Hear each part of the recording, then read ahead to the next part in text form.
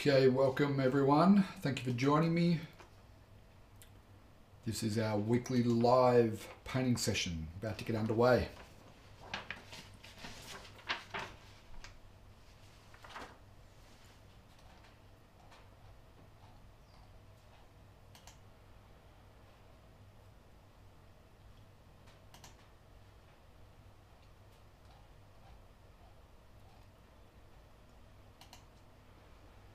Okay, welcome, welcome, welcome. Thank you for joining me. Let us know where you're tuning in from, where in the world you are. G'day folks, how you doing? Welcome to our weekly live stream. For those of you who don't know me, my name is Rod Moore from Learn to Paint Academy and we are going to do a little painting today, a little landscape painting going to be a bit of fun and um, opportunity for you to ask any questions about painting and we'll talk through uh, the Moore method of painting, which is what we teach at the Learn to Paint Academy. So welcome to everyone who's just joining us. Um, good to see you all. G'day Colin Hatfield, how are you mate? Good to see you. Good to see you. So we're, today we're streaming to YouTube, we're streaming to Facebook, uh, Periscope, and Twitch. So, how exciting! G'day, Misty. Welcome. Jumana from Melbourne. G'day, how are you? Welcome. Glad you can all join us. So we'll just wait a little bit while we give people uh, time to come and join us on the live stream here. Um, g'day, Christina. How are you? Barb, welcome back. Colin says, big thank you for the Learn to Paint mug. My pleasure, Colin. Enjoy that. Colin uh, was one of the lucky recipients of our Learn to Paint um, coffee mug. We give those away on our Friday morning coffee chat. Morning, Joan. Welcome in Ireland. Good to see you. G'day, Alan in Canada. All right. Good to see everyone. So, let me show you the project that we're going to do. Morning, Rita in Virginia. All right, this is the project we're going to do. And um, let me get rid of my name. Now, if you stick around to the end, I'm going to give you a link to go to for uh, a free painting course. Um, so stick around for that. But this is the painting we're going to do. This is a little photo I took at Tweed River Gallery, okay, which is uh, just over the border in New South Wales. Got a beautiful gallery there, and there's an amazing outlook. And so I like this as a composition. You've got this very definite foreground hill here got this big tree here, right? So in terms of big shapes, which is what we teach the Learn to Paint Academy with the Moore method of painting, we're all about identifying big shapes and getting those drawn in. So we've got this one big tree here and a big foreground, right? So I'm going to treat that as just one shape today, just to show you a slightly different working process. Then we've got the water mass here, this little lake, okay, it's another shape. We've got this uh, mid-distance hill with some trees on it, that's another shape, right? And then a little row of trees at the back could potentially be another shape. And then the sky, beautiful blue sky. Probably need some cloud here to balance against that tree, so we'll play around with that as an idea. So um, we're going to have a bit of fun. It's going to be a bit of fun. I'm going to paint in water mixable oils, and uh, you can do exactly the same process with acrylics. One of the things that we teach at the Learn to Paint Academy is to be able to paint the same process between water or between oil paints, doesn't matter if it's water mixable or traditional, uh, and acrylic, and be able to move back and forth between the two. Okay, so that's what we're going to teach you here today. G'day, Barb in Barbara in Pennsylvania. Welcome. Good to see you. G'day, Mark. Mark says he loves our method, the Moore method of painting. Thank you, Mark. I greatly appreciate that. And uh, you know, it's starting to catch on around the world. More and more people are starting to uh, listen to what we do here. So I'm going to pop this up on the board. We'll refer back to it from time to time. And uh, let me shoot down to my palette here and I'll show you what we've got going on. So I just got back actually. Um, I spent Sunday in a, uh, a workshop, um, palette knife workshop with a master artist. He's in his 80s. It was pretty friggin' awesome. Um, so I really enjoyed that. And uh, I highly recommend always keep upgrading your knowledge. Um, all right, as you can see, I've been doing a bit of painting on this palette and it's a bit messy, but don't worry about that. We'll work through it. We've got ultramarine blue, We've got permanent alizarin crimson and our yellow ochre. That's our primary palette. And then I've got my two booster colours, cadmium yellow light and cadmium red, a strong cadmium red, right? Um, and I'll show you why I'm going to use that here today, just for something different. Step one of the Moore method of painting is the drawing. So here's a question for you. When we do our drawing in the Moore method of painting, what is the most important thing that we're looking for? What is the most important thing we're looking for? G'day Catherine in Dublin. Welcome. Good to see you. Thank you very much everyone for joining me. Now if you are joining us for the first time uh, and you're new to the Learn to Paint Academy, uh, make sure you stick around because at the end I'm going to give you a link where you can uh, go and register for a free course which will explain the Moore method of painting in a lot more detail to you. And we give you what give you four different painting demonstrations as well as part of that free course. So what I'm doing here, I'm going to do step one of the Moore method of painting, which is our drawing, right? So to do that, I'm mixing up a dark. Okay, see that? I'm using my blue, my red, and a bit of yellow, and that gives me a dark. Okay.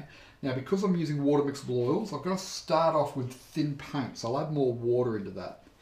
I want it to be very loose paint. You got to, with oils, you got to work thin to thick. Acrylics as well, it's probably helpful to do the same. Now I'm going to get in this foreground. So this is our first sort of big shape. It runs kind of down there. Something like that, right? And as part of this big shape, I'm also going to include into that this tree here, right? This tree mass right there. So I'm going to treat this as all the same big shape. And the reason why I'm doing that is for a very particular reason. Um, when I uh, when I block in, I want this to be all pretty much the same value. Okay, that's the reason why I'm doing that. So um, that's our first big shape right there. The next one is we've got this really nice looking pond here, or lake, which is what sort of drew me to the subject. It sort of is in that shape there. And it's bordered by the foreground hill here, right? So that's big shape number two. This is all number one. Okay. Hope that's making sense so far. G'day Lisa, welcome. Carol, g'day. Yes, to distinguish the big shapes, absolutely right. All right. So I've got two big shapes down on this uh, little painting here now. And then we've got a, just got to be careful I don't make this too high, but this distant sort of hill, well it's middle distance hill, it runs through there like that, right? That's the third big shape. Now in there that we've got a row of trees that sits in here like so. Okay, but really it's all part of the same shape there is the way I'm going to treat it. Okay, you'll see how I'm going to do that uh, as we progress. Now there is another little row of trees, but what I'm actually going to do is I'm going to turn that into a bit of a, a mountain range just there. So maybe that needs to drop down a bit more there. So that mountain range will become big shape number four. Okay, and sky becomes big shape number five. Now, how easy is that? Right? One of the problems that a lot of people who are starting out with painting that they have is they look at a subject and they go, oh my God, there's so much information. Um, what do I do? Where do I start? Right? And people start painting leaves and blades of grass. Don't do that, right? Start out with big shapes. Let's just identify the big shapes and get those mapped in first and painting the big shapes, right? Now, one, one of the things is I've probably got all of this a little bit too high, realistically. So I could redraw it all, or perhaps to offset it, I'll just make this tree slightly bigger. And that will make, make this top of the hill range there maybe not so high up in the painting if I make that tree bigger, okay? But how easy is that? We've broken down what looks like a fairly complex subject into a five shape painting process that we need to go through. Okay. G'day Gail in New Zealand, hope you're doing well. Good to see you again. Elaine, I'm using water mixable oils, Elaine. You may have joined us a little bit late, um, but I'm using water mixable oils. But I'm going to, the painting process, the Moore method of painting that we're going to use is transferable between oils and acrylics. It's exactly the same process, okay? So, um, but I happen to be using water mixable oils here today. Okay. G'day Gladys in Ontario. Welcome back. Good to see you. All right, that's step one. Step two of the Moore method of painting is the block in. The block in. This is where we start to get colour down. So my question to you is, when we block in, what are we looking for? It's not just about colour, because colour has different elements to it, right? So when we block in, what is it that we want to try and achieve with our block in? That's my question to you. I'm going to let you ponder that while I mix up a dark here. Now again, because it's a block in, the paint wants to be fairly thin. I'm going to actually use my cadmium red here today to make this dark even stronger. Uh, yellow ochre. So I've got my three primaries in there. But by using the cadmium red, which is a warmer red than the alizarin, what will happen is, theoretically, I'm pretty confident it will be the case, it'll bring this foreground and hill and, and uh, tree even more forward because we're using a warmer red in the mix. Now see that? Blue, red and yellow. Pretty simple, yeah? So, come in here and we're just going to block in the overall shape of this tree. Okay, that's what's most important here at the moment. But what are we trying to achieve when we do our block in? That's my question for you.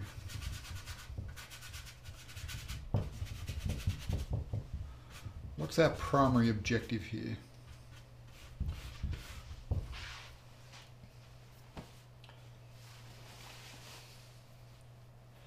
Colin says aerial perspective. Yes, absolutely. For a landscape, that's important. Carol says depth. Yes. Jim, g'day Jim, in Wexford Island. Welcome, my friend. Good to see you. Um, yeah, I mean, both of those answers that I've seen. What about on YouTube? What, what, answers do we have over on YouTube? G'day, Bar- Beverly in Winnipeg. Just for today. Okay, cool. Um, Gladys, do you establish aerial perspective with blocking in? Yes, yeah, that, that's a key part of it. But what I'm really looking for is a value structure, which helps create aerial perspective. And um, to do that, you know, it's dark to light, but it's also temperature and saturation of paint. Those things become important, right? I'll just warm up this tone a little bit. So I push it a little bit more on the red side. And again, this paint's very thin. See how much water I've got mixing in there? This is just the undercoat. Like we're just establishing the shadow side of this painting at the moment. So I don't want this to be a thick paint. It needs to be a thin paint, yeah? Now I don't know whether this is translating on the video, but I'm painting this with, a, with more red in that mix than is up here.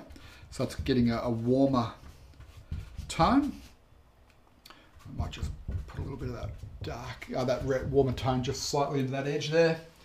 And uh, there we go. We've got, let me show you here. We've started our blocking. We've done big shape number one tree and the foreground, which is this tree here and our foreground, right? We're just blocking in the shadow side at the moment, establishing our values. Hopefully that's making sense. Let me know if you have any questions. Okay.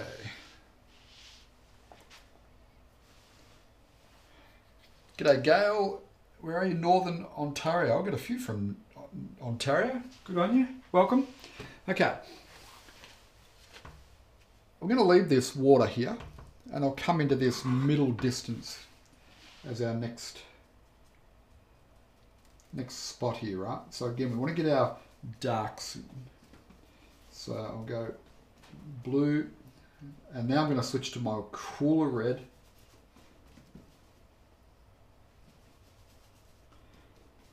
Okay, and a little touch of the yellow to grey it.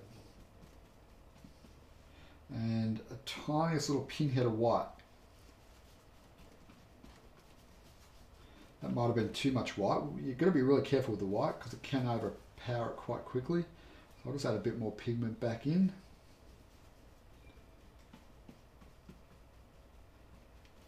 Now, you can see that this is a lot lighter in value than this here. But you'll really see it when I come in here and add this into this tree line here. Okay, so this should look like it's further away. And we're not trying to paint every leaf on these trees.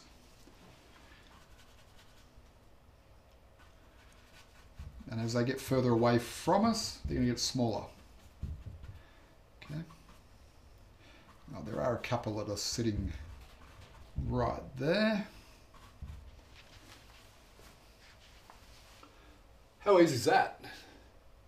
Big brush. Big brush. Alan Mills in Elliot Lake. Welcome. Gail says it's snowing here. Goodness me. Snow's not something I do really, but anyway. Um, now, what I'm going to do is I'm going to warm up this tone just slightly, and then I'm going to lighten it. So I go a little bit redder, like that. I'm going to lighten it a little bit more. And the reason is because objects that are standing up vertically are generally darker than horizontal or flat objects. So therefore the land is going to be a lighter value than the trees in here, right? So nah, it's probably not quite right. I'll just get a little bit lighter. Okay just run this in. Now this is again the shadow side of this hillside. Now for those who've been following me for a while, you probably notice I'm just approaching this slightly differently than what I normally do, just slightly. It's the same process, but just I'm mixing up the blocking just slightly. And um, part of the reason why I'm doing that is because I want you to know that there's no absolutes with painting, right? There's lots of different ways and approaches to achieve the same outcome. Okay. And I have forgotten one thing which um, I better go back and do. Now if you're watching this for the first time you might be looking at this going this guy doesn't know what he's talking about. He doesn't know what he's doing. Yada yada. Right? That's okay. That's quite normal, but we will get it there in the end. G'day, Tom Parsons. How are you, mate?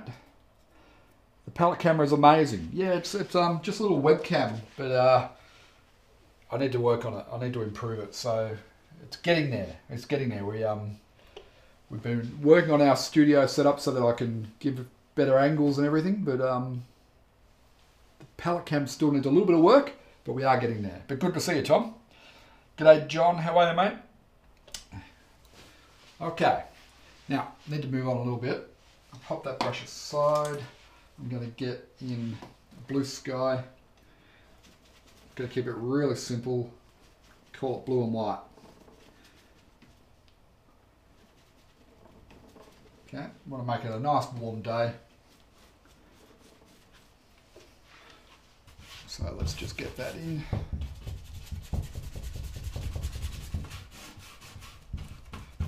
Now I'm using a really cheap canvas panel and it's a little bit on the thirsty side. So I've got to sort of scrub the paint into it. Um, I tend to use little cheap ones for demonstration paintings and sketch paintings, but if I'm going to do a serious painting, you know, to put in a gallery or a show, I would use a, a slightly better quality one, I would think. Let's just play around with the idea of getting a few sky holes in there. I'll just make a note so we can come back to it.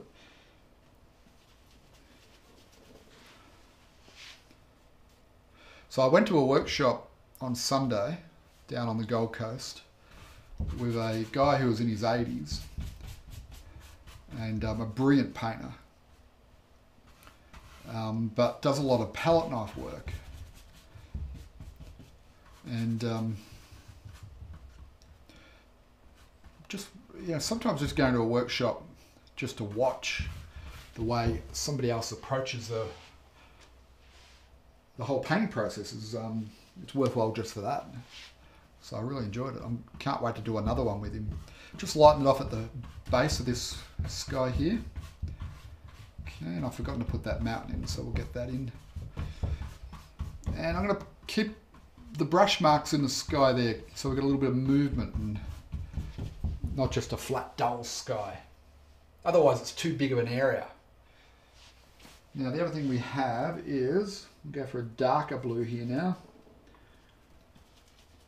And I'm going to make this paint a little bit a little bit thicker, but we have okay. That's that's a little bit too happy that blue. So what I'll do is I'll take some of this dark grey tone, and I'll just mix that into the blue, and that'll just stop it being too happy happy blue. We'll just grey it back a bit. Okay, and we'll put a few reflections and things in this water as well.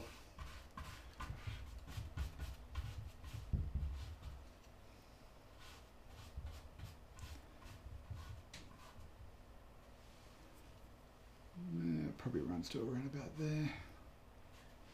Okay, so there's our little lake.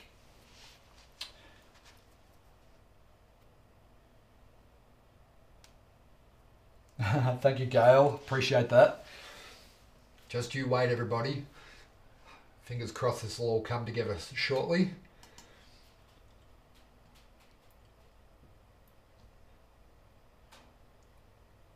Mark saying he's going to get four inches of snow in Wisconsin. Wow. I, I just cannot comprehend what that'd be like. um, living where I live. Okay, now let's just get a little bit darker blue, but I hope that that doesn't cause you too many problems there, Mark. Um, like if you want to go down the street and buy the your groceries, I don't know how you do that four inches of snow, but I guess you work it out. Okay, slightly darker, distant mountain, no details on this one. And we'll just let it disappear into the sky a little bit. Okay. Oh, there is a nice little house right here. We'll pop that in in a moment. All right, there you go, folks. That's um, step two of the Moore method of painting, which is our blocking, getting our value structure in. And um, what we're really doing is painting the shadow side of each of the elements. So to make elements have like a three-dimensional form, they need to have a dark, a mid-tone, and a light. So I always like to start off getting my darks in and establishing darkest darks and then working back to the, you know, the lighter tones in a painting and setting up a value structure within the painting. Uh, it's kind of a traditional sort of oil painting approach. A lot of famous Australian landscape artists use this method, and I, I learned it through observation, watching lots and lots of other artists do this approach, right? A lot of people who start with acrylics, they don't know this method. So that's why I say our method's transferable from oils to acrylics and back the other way. So um, I like to teach in a way that you can use either, uh, either medium. Hi, Joanna in Scotland. Welcome. Good to see you. All right. Now, usually, if that was acrylics and the acrylics are wet, what I'd say to you is go and have a break. Go and have a cup of tea uh, because you don't want to work back into your acrylics while they're tacky, you know, when they start to half dry. Uh, it's not a good time to work back into acrylics, I find, especially if you're just starting painting. Beginners struggle to put wet paint over tacky paint with acrylic. because it's oil, and if we've painted the, the initial layers in thin enough, we can go back in and start working on this, you know, pretty much straight away. If we've painted it thin enough. If we've used our paint too thickly, we're going to have trouble, right? So um, when, when you're painting with oils, always start with thin layers and then progressively get thicker and thicker over the top of that. So what I'm going to do, I'm going to play around with the palette knife for the tree, uh, for the main tree and maybe some of the details in the foreground. Um, just because, as I said, I went to a workshop uh, with a, an old guy who's a master of the palette knife and um, just really enjoyed the way he made his trees and so on. So we'll play around with that. Um, G'day Alice, New South Wales, welcome. Hope you're doing well. Now, um, I'll give you this link because I'm just pausing a moment just to let it just dry off some of that water in there a little bit. If you're watching us for the first time, uh, or if you haven't done so already, please go and register for the free course at the Learn to Paint Academy right there www.learntopaint.info. I'll give you the link again at the end, um, but if you want to write that down now, we give away a free course, goes through the Moore method of painting, which is what we're showing you here in more detail, and there's four different painting demonstrations. Um, go and learn more, you know, if, if you want to learn how to paint. So, but again, I'll put that link up at the end. So um, if you haven't had a chance to write it down now, get ready at the end. Okay, let's get back into painting. So, take my brushes here, have a quick cup of tea. Feel free to ask me any questions.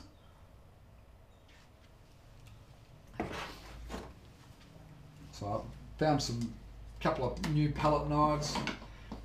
Biggest problem with palette knives is I forget to clean them. And the paint dries on them, which is not good. All right, let's get some tree green. So we've got blue right there. We've got the yellow ochre. Tiny little pinhead of the red. Okay, mix that together. And what I'm looking for here is a middle value green. Okay, a middle value green. I'm just trying to figure out, it's kind of hard to identify in this painting here uh, where the light, or in the photo, where the light source is. So I'll make it up. We'll assume the light is coming in this direction here, so we can have a, a nice shadow there. So I'll just make some assumptions. Okay, let's get a little bit more yellow into that. So I want this to be my middle value green, right? We've got our dark, up here on the board. That's our dark shadow of the tree. If you look into any tree, you'll see that there's shadow there. So now we need to get some middle tone. It should be lighter in value and warmer. Okay, so that's what we're going to put in here. And I'm just going to scrub it around and move that paint around.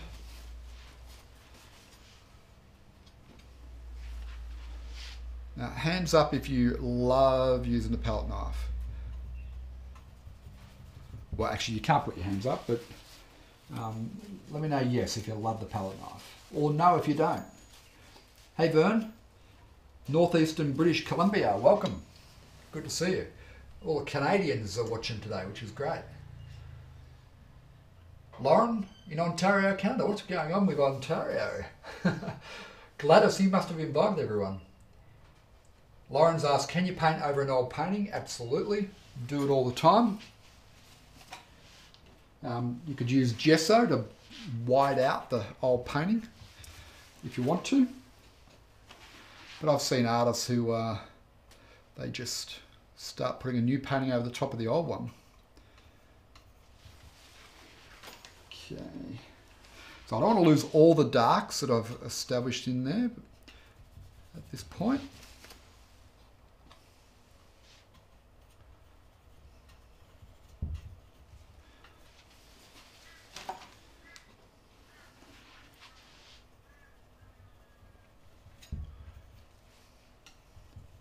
So the, the palette knife gives you sort of some hit and miss effects.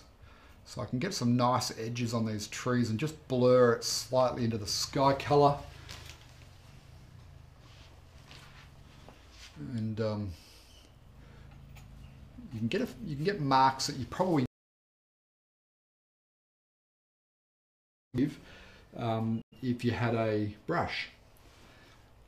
So it's worth exploring. Okay, now I'm going to add some of this cadmium yellow light in there. Now, notice it's a little bit dirty from when I was doing a, another painting, but I don't mind that because it's a, a very limited palette.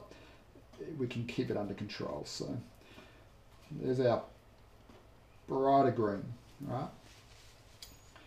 I'll just add a little touch of the yellow ochre just to mute it back a little bit. And I'll just load up a little chunk of it there like that. Okay come up to the palette and I'm just going to find this side of it here where I want that lighter tone. And we'll just where uh, the light source is going to be just clipping. Now I'm doing this as a little demonstration. It's a little bit on the rough side obviously. But the key point is that you understand the process Okay. Now we'll just get a little bit of a tree trunk colour, a little highlighted tree trunk colour. It's going to be the alizarin crimson, the yellow ochre,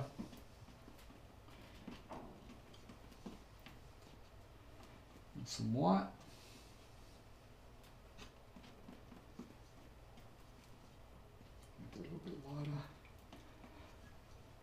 Now I don't actually um, mind if the paint, if, if I don't fully mix it in, like leave the colours a little bit broken.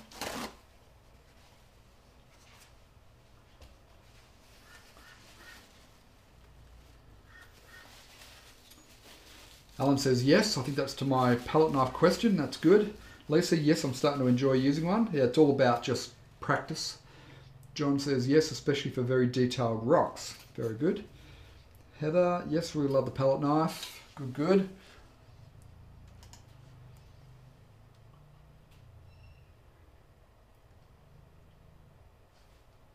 All right, so it's got this little tone here. Let's just see what happens with this. I'll just load up a strip along the edge there.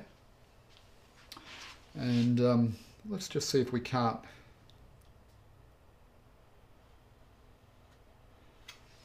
start to create some tree trunks that are catching a bit of light there. You have a little bit less control with the palette knife, I feel, unless you're a real master at it. Um, so it can get a little bit more random in the effects. But I actually personally don't mind that. And look, anything I put on there that I don't like is easily removed as well. You've got to keep that in mind. We just take it out if we're not happy with it. And probably just use a palette knife for that as well. okay, let's just put a little hint of uh, oh, it's too much of a hint.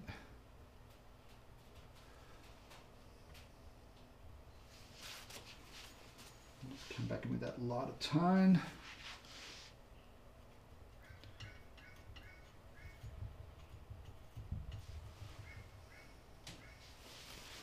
Okay, so I'm going to leave the tree there and we'll come back to that.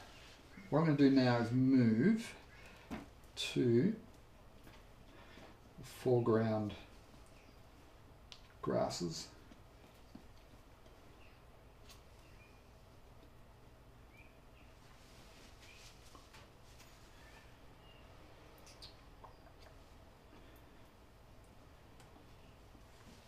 So it's going to be roughly the same brightness as here.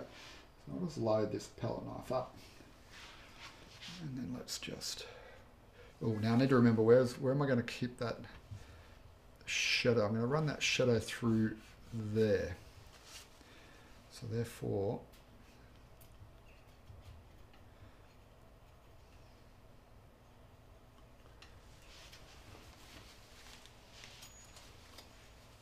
I could also use the brush with this, so I'll put some of it in with the brush.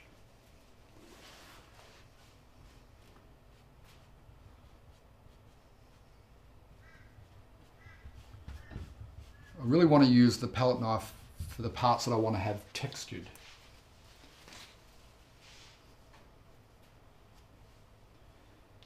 Let's get a little bit of red into that.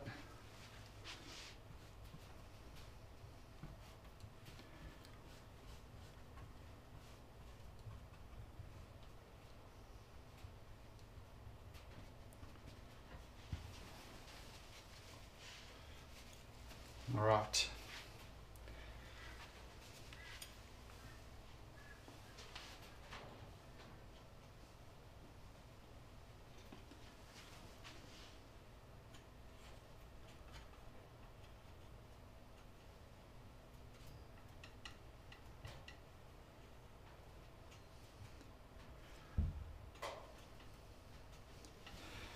I'll just lay that in and we'll come back to working on that a little bit more in a moment. Now we're going to come back to our distant hill here. Let me have a look. It's going to be, it's a greeny yellow. It's partly in drought at the moment. So it's going to be a light value, something like that. It's going to be lighter than what we just put onto that foreground. So the reason why I started with the foreground grass was because I wanted to just get a little start there that we could uh, work against. Right, so this is going to be a lighter, cooler value than what we've got in the foreground here. So my question is, is that lighter? Probably not light enough. A little touch more white. And probably a little pinhead more blue into there just to cool it back a little bit. Okay. That's probably a little bit better. Now there are some other trees up there, so I'll leave I'll leave a few gaps where I can pop those trees in.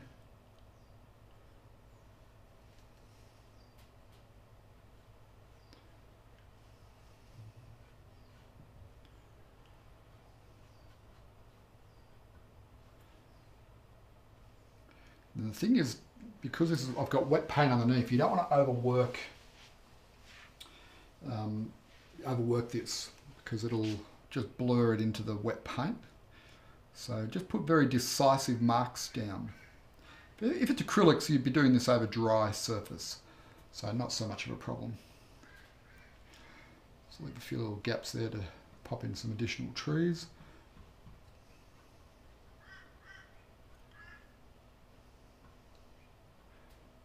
Okay, so you really just want to put one mark in each location. If that makes sense. Now there underneath this tree there were some other shadowy trees, but I'm going to just delete those and um, I'm just going to put in the distant grass colour.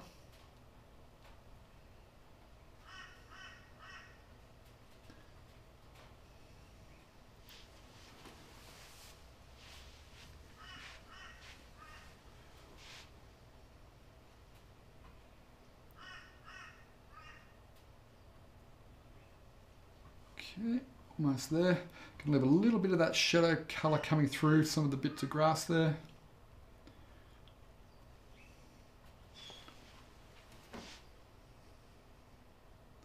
And I can reshape this tree line here as well if we need to. All right. This in here is probably got a little bit murky, a little bit dull looking because I think that paint here was a little bit too wet, the, the dark paint. Um, so I'll, I'll, come back and address that in a moment. Um,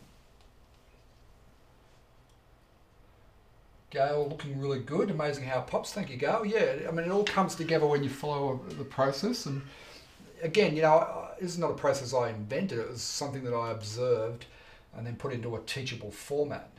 Lauren's asking, where do I hail from? I think it's me you asking, Lauren. Um, I'm in Queensland, Australia, but I consider myself to be a, a wannabe global citizen.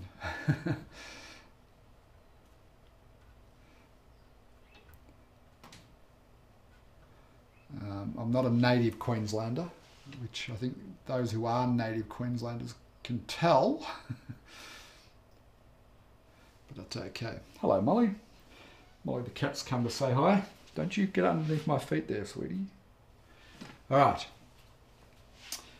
Yeah, I think might, I might be pulling all that out and redoing it in a moment, but let's um, let's worry about that when the time comes. I'm going to switch to a smaller brush. Need a smaller brush now.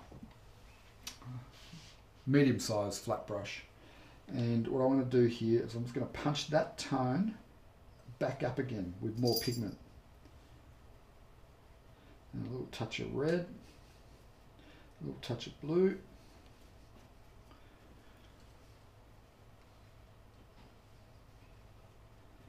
So what I want to do now, uh, that, that brush had a bit of water in it, which is a bit of a bugger, but not to worry. What I want to do now is come in and shape these trees in here a little bit.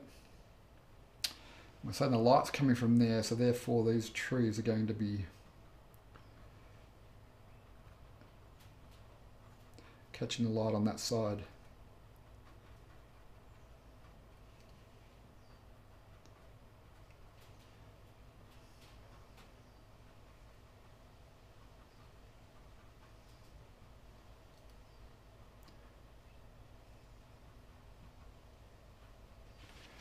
Unfortunately, just a little bit too much water, so let me pull that out.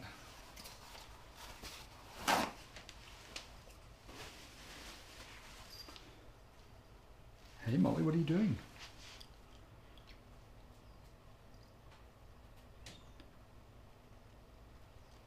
Molly's my studio cat. She loves to come in and sit right under my feet when I'm painting. Okay. Now I'll just darken that tone up a little bit. There we go. Let's just get in. Some darker greens in there as well. Now I'm doing this really roughly. I mean, if I was doing this as a finished painting, I'd be taking a bit more care with it. But because we're limited time on a live stream before the uh, batteries on the camera run out, um, you know, I'm, I'm, sort of hurrying it a little bit. But hopefully, the process is translating. That you're starting to see um, a working process with it. Let me know if it's making sense. Okay, so I'm I left some space here for some other trees.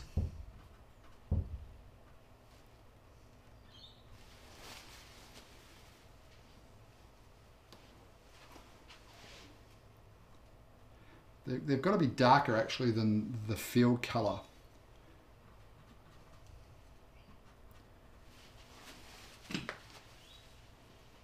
Because they are. so that one's not. So I'm going to come back in with a dark there. Okay, we'll run some of that down there, make it very subtle.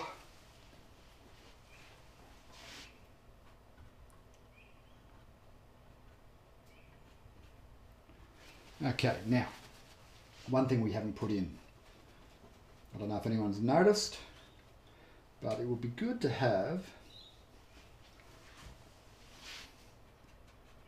some reflections in here.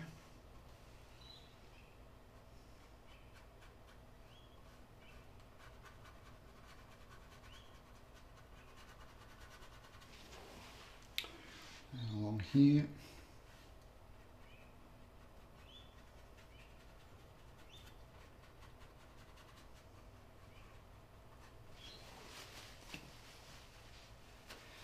And there is this is probably a key little element to put in here. There's a little tree right there. I'll just put it in as a shadow tone because it kind of stops the eye running right down there and straight out the picture, right? So we'll pop that in.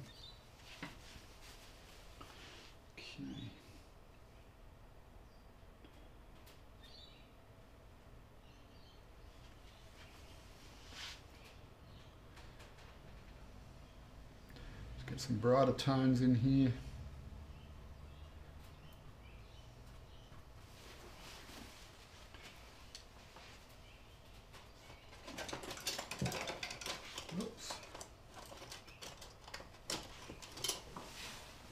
Yeah, feel free to ask me any questions, guys. I'm here to help.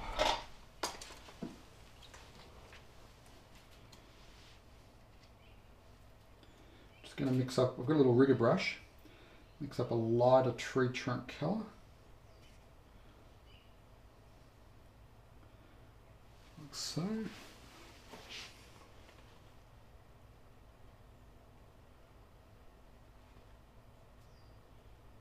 That's too thick that one, but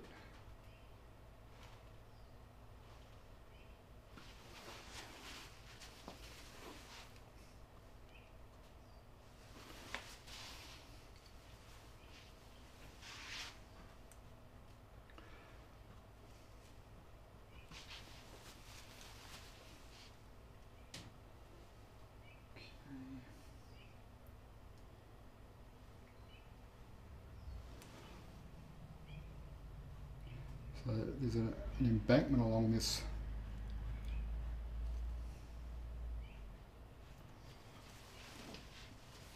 little dam here, or lake. So we need to get, make sure we get that in.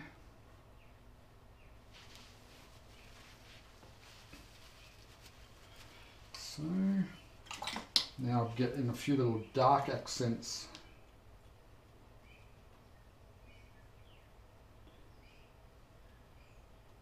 not a good idea to mix colour with your rigger brush, but for the sake of time,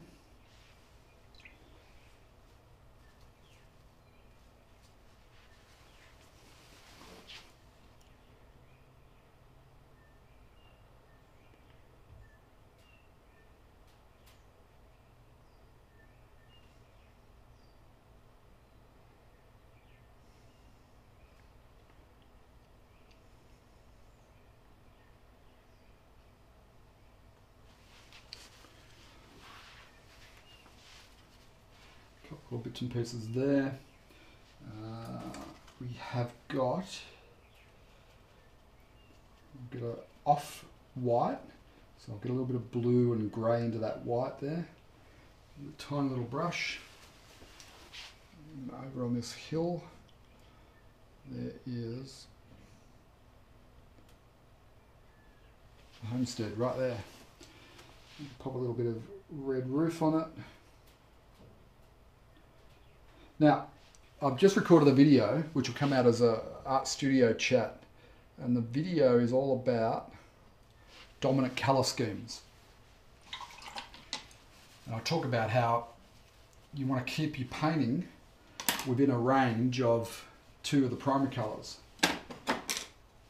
So, and then use the third primary color as an accent to that. So my question to you is, what's the dominant colour scheme in this landscape painting here today?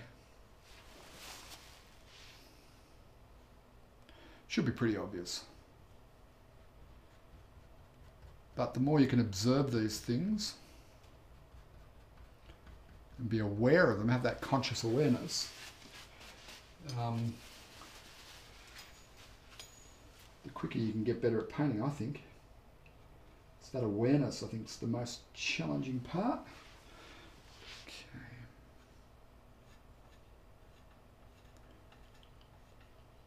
It's not quite Monet's water lilies, but there's definitely some there.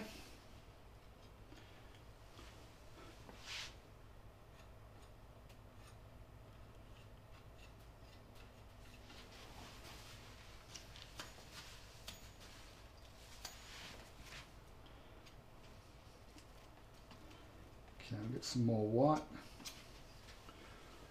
And now see how that's just too bright, isn't it? That's just too dominant. We don't want to leave it like that. So I'll pop it on. We'll get a clean brush. We'll get some white and we'll get some blue. And then what we'll do is we'll just tone it back a bit.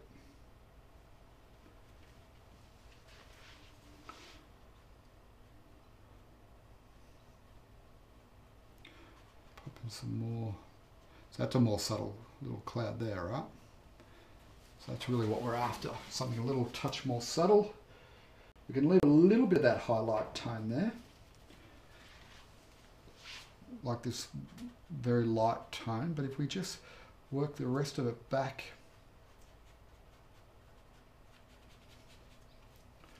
it'll look a little bit more convincing.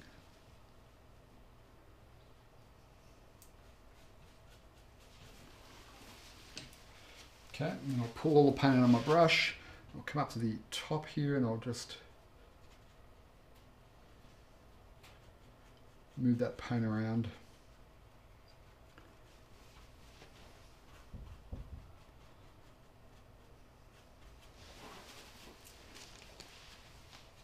Like so.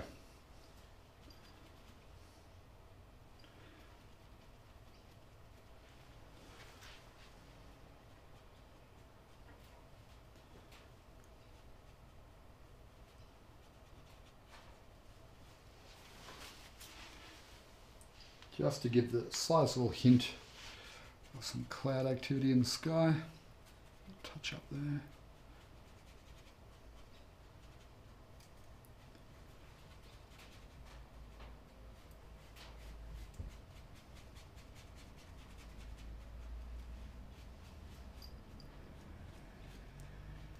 Soften out the edge of this distant mountain a little bit too. Hard edges come forward. Soft edges recede.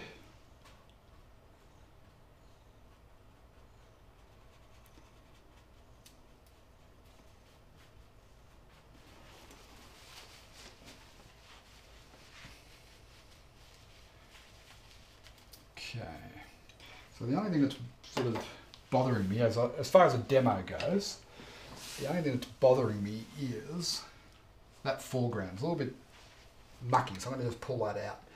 Let's see how we go on here. Carol says blue and yellow. That's correct. The dominant colour scheme is blue and yellow, and of course the secondary colour is green. So it's a blue, green, yellow dominant colour scheme, right? Which means it goes well with a little accent of red somewhere, which we could put into the foreground, into the main tree, or a little touch of red there. Lisa says green and blue. Close, Lisa. Um, you've got to have the yellow there to get to the green. So it's that side, if you look at the colour wheel, it's that side of the colour wheel between the blue and the yellow, right? So um, let me show you. Because I think this is a really interesting uh, concept to, to take into your own painting. I've got to be careful I don't step on Molly because she's rolling around. So this painting of Lennox Heads, it's pretty obvious that the dominant colour scheme here is blue, yellow and the secondary green, right? There's red in it, sure, but the red's an accent colour. Overall dominating colour scheme is blue and yellow and the secondary green. So let me show you now another painting with a different colour dominance. So this is one I'm working on, right? It's a larger painting and it's more of a sort of outback scene and um, What's the dominant colours in that? Well, it's red and yellow, isn't it? It's the red, yellow, orange side of the colour wheel, and the blue becomes the accent colour. That's not finished, that painting. It's still got quite a bit of work to go. Um, but it's a red, yellow dominant colour scheme. So if you've got a red, yellow dominant, then you're going to act, put the accent colour is going to be blue, which the blue sky kind of does that for you, right? So I hope that helps. All right, any questions over on YouTube? YouTube, awesome figured with your beautiful accent. Thank you, Lauren. Appreciate that. Have you ever used a palette knife to scratch in branches? Yep, use them all the time, Mark. In fact, that uh, outback scene I just showed you, um, I use a lot of palette knife scraping back techniques and things like that. So yeah, absolutely. I use that quite a bit. Gladys says yellow and blue. Correct, Gladys. Very good. Darlene in Nevada. G'day, Darlene. So glad you added the cloud. Yeah, it needed, it needed a little something just to balance off against the weight. All the weights on this side of the painting, isn't it? The tree and here. It needed something just to balance it out. Okay. Let us now, I'll just do what I said I was going to do. Thank you, Colin. Appreciate that, mate. Um, I think what I'm going to do is I'm just going to pull some of that paint out. It's a little bit heavy and it wasn't quite working the way I wanted it to. So one of the one of the liberating experiences for me as an artist was when I started to feel free to do this. Because I used to be terrified of mucking up what I'd already done, even if I wasn't happy with it. So once I figured out that it's just paint and I could repaint it and not to be so precious about it, it freed me right up. So I highly recommend it. Okay, so what I want, what do I want in terms of a tone here? I want it to be warmer. So I put the cad yellow light into this mix here. Needs a little bit of yellow ochre to just grey it back a bit, right? Little pinhead of the red. So, you know, technically it's a green grass, so we probably need a little bit of blue into part of it. I'll just pop the blue up there.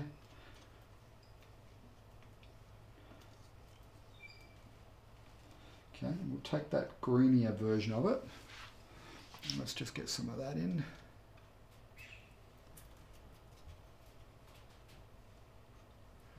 Notice I've got that warmer tone in there. Warmer tones come forward and uh, your cool tones go back. Now I think Mark asked about scratching, so I'll even use a bit of scratching just to get some texture into the grasses as well. I think that's you know, one of the things I love about the palette knife is it gives you that versatility of mark making. Okay, whoop, it's all gotten a bit mucky. Got a bit of white in there, which I didn't really want, but not to worry. Let's just pull that into there. Get that shape of that shadow a bit more accurate. And now, go to, go to a brush. What I want is a crusty kind of brush. Don't use one of your good brushes for this. You want one of your old crusty ones, which um, I don't have on hand. I'll use this one. See how that's just warmed up the foreground hill here? Now I've done it really rough. You know, I've taken virtually no care at all because I'm conscious of time. Um, but it's warmed up the foreground. So it's pulled the foreground more forward. Now we can come in and get this warm tone. And see I'm just pushing the hairs of the brush up and it's opening up the hairs of the brush there. Where are we? Okay. Just pushing it through the paint. And then I can come up here and just start to get these grasses in. And just overlap overlapping objects is one of the things we don't talk about a lot, but it's definitely a um, important part of creating depth in a painting. Yeah, where you put your objects in front of each other. Now, hopefully, you've learnt something today. And it's been a worthwhile worthwhile use of your time.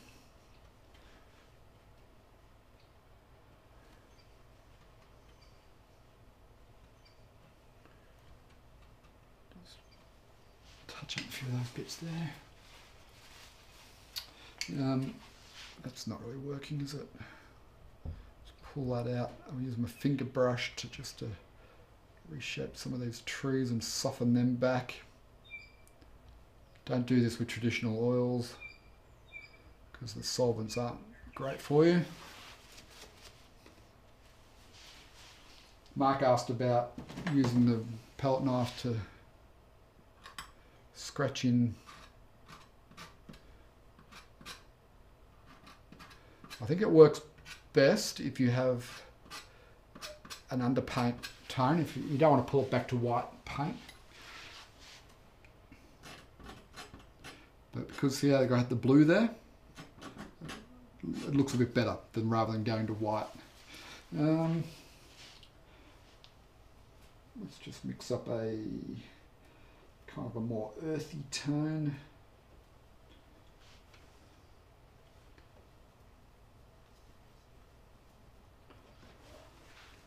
And maybe we just put in a little bit of earthier tone in here and there. Just where the grass isn't growing, and there's a bit of exposed earth.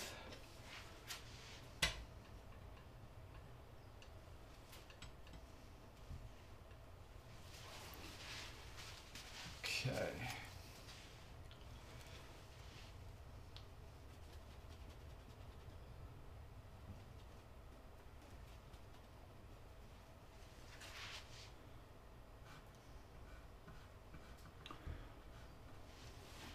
I just wanted to create more of a sense of a rolling hill in parts here. So I'll just get a little bit of a warmer tone there. Maybe just through there.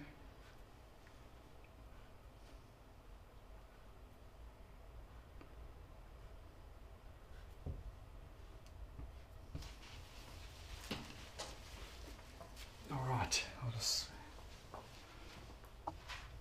Vern said you thought you heard a cat. Well, you did.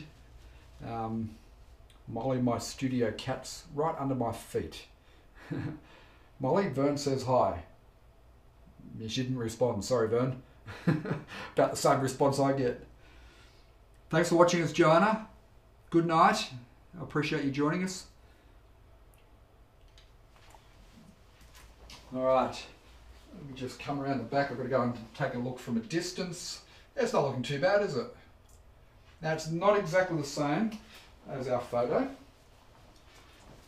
but it's a good representation of our photo, yeah? So, um, I don't ever feel the need to be a slave to my photos. I only ever use them as just a way to get an idea for a, you know, an idea for a composition, really. Unless I'm particularly trying to um,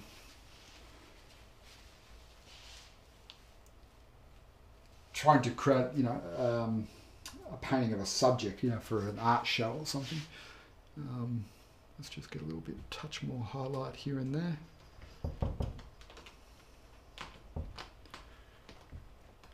Try and create a little touch more form into that tree without overdoing it. That's the hard part.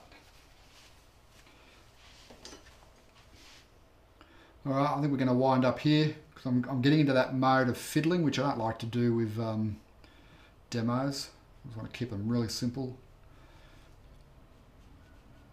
So you know, most of the demos that we do at the Learn to Paint Academy, I don't really finish them up into finished paintings. They're, they're always going to be a little bit loose and rough because I think the majority of what you can learn when you're starting out is more to do with the process. And you know, if you don't get your big shapes right and your values right, no amount of fiddling at the end is going to save you. If you don't have a good composition, you know, then you can fiddle all you want at the end with details, but you're probably not going to save it. And so that's why I spend most of my time on more of the start, the big shapes, the values in our demonstration, rather than finishing off with lots of details at the end. So I think that's where you can learn the most. All right, friends, what questions do you have? Let me know if you've got any questions. Uh, let me just scroll back a bit because I think I may have missed some of your comments. Thank you, Colin. Appreciate that. Thank you, Heather. Heather said it's always a pleasure watching you paint. Thank you. Appreciate it. Thank you, Lisa. Molly's sleep under my feet. Glad you enjoyed it, Lisa. What about over on YouTube? My pleasure, Mark. We do this every every week at this time. So it's Wednesday morning my time. Um, and uh, yeah, come and join us on Friday mornings my time. We do our coffee chat and Q and A. We just chat and talk about art and answer any questions you have. So please join us. But most important, if you haven't done so already, I've got a complete painting course where I go into all this in more detail. Uh, the Moore method of painting, right? Which is three steps, three colors, three brushes. And if you haven't done so, go and register right here for our free course. And it's the Learn to Paint Introduction course. We give it away at the Learn to Paint Academy as a way of introducing you to the, what we do at the Learn to Paint Academy. 30,000 students have been through and, and gone through our free course there. Um, so write that address down, learntopaint.info, register yourself, learn more about the Moore method of painting, and uh, there's four different painting demonstrations there as well. So uh, please come and do that if you haven't done so already, and join us each week. Um, if you uh, if you want the details, go to learntopaint.live web address, and that'll take you to our page with all the details on um, our live stream. Gail saying, learning so much from you. My puppy MacGyver says woof to Molly. hey Molly, do you want to say hi to MacGyver? And one second, I'll see if I can coax Molly into. she's not really, doesn't really enjoy being picked up, but here's Molly. Look, Molly, say hi to MacGyver. Hey, you got paint on you today? She's looking rather annoyed, isn't she? she really doesn't like being picked up, but um, occasionally she makes a guest appearance on our live streams. There you go. Um, thank you all for joining me. Hope it, you've enjoyed it. the backboard will be worth framing. Yep. Yeah, I'm going to turn it into an abstract piece someday. and I'll call it early inspiration for my abstract work. So, but I, I got this idea from another artist, um, Robert Hagan. But since I've started looking at a lot of abstract artists and, and taking courses with abstract artists because uh, I like to broaden my horizons and learn new things all the time. And I've noticed quite a few of them use big backboards and they're always a mess. So um, probably not unique to me, but you never know. Thank you all for joining me. Have a great day. I'm off to do some uh, filming for some more courses we've got coming up. And um, I appreciate you all being here. And uh, quick little demo, but play around with different ideas like this. Um, you know, you can make up your own compositions. You don't need a photo reference. Just make up little landscape compositions and focus in on the values, the big shapes, uh, the temperature, you know, warm in the foreground, cooler in the background. Um, play around with them and just, uh, that's how you learn, really, isn't it? You get the basic fundamental skills and knowledge, which is what we teach at Learn to Paint Academy, and then you practice right? So that's the real key. Looks like an aspen tree. This one here, yeah, it could very well be an aspen tree miss in the wrong location. All right, I'm going to go. Thank you guys. I'll talk to you all soon. Cheers.